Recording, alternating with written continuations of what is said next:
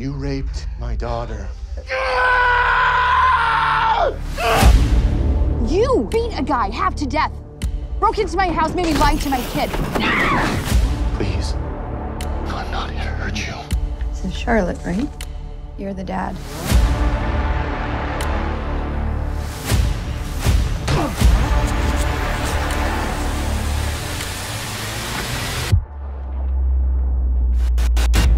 Got someone on the way.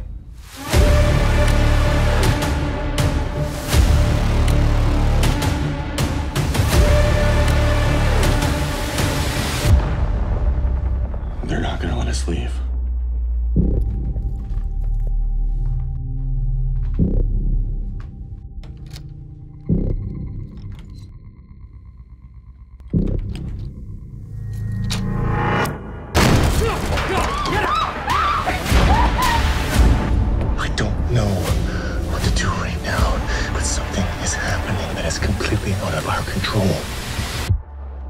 I can't do this by myself.